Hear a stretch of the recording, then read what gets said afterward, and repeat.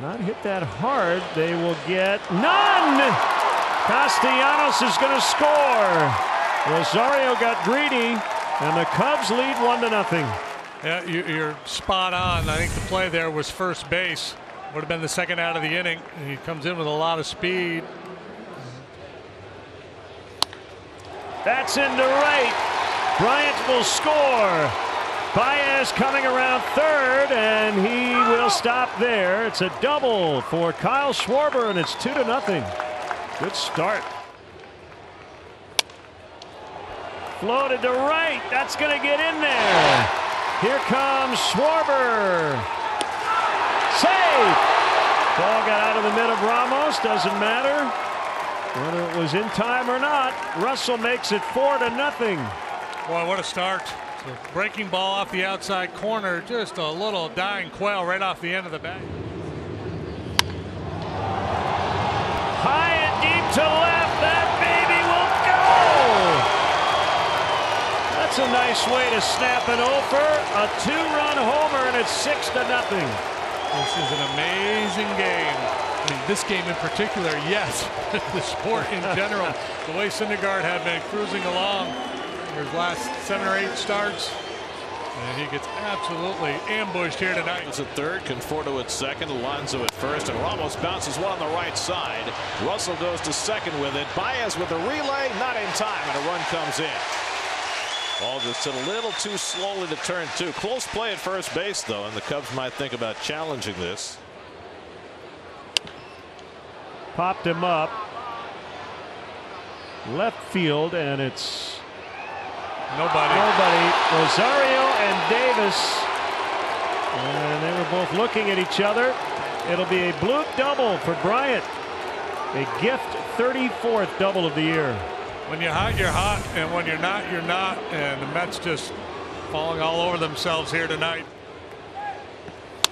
And a drive out into left.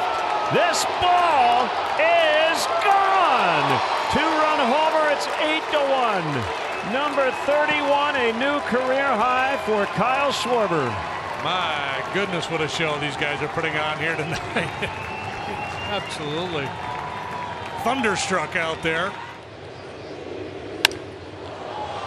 High and deep, right center.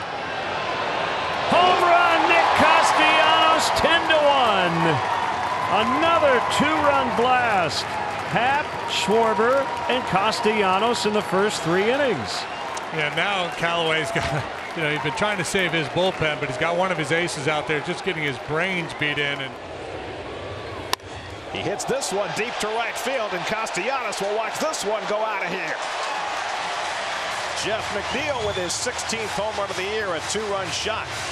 To get the Mets a little closer, it's now 10 to 3. Well, you were shocked earlier, Keith, yeah. when he took it a first pitch. You didn't take the first pitch this time. No, he kind of ambushed uh, Hendricks here. JD hits one out to right, chasing Castellanos back at the wall. It's out of here. Back-to-back -back home runs for McNeil and Davis.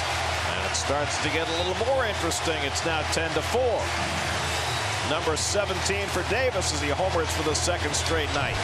Well, he had been struggling going into his last at bat last night. He homered in the ninth inning, and he's hit three bullets in this game. And Panik flares one the other way, and that's a base hit.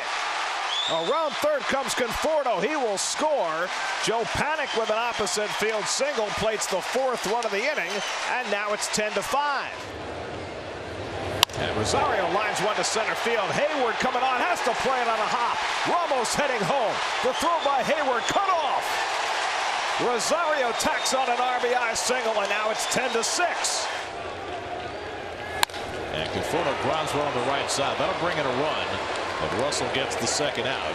Frazier comes in to score, and now it's 10 to 7. The 3 1. Ground ball to Russell.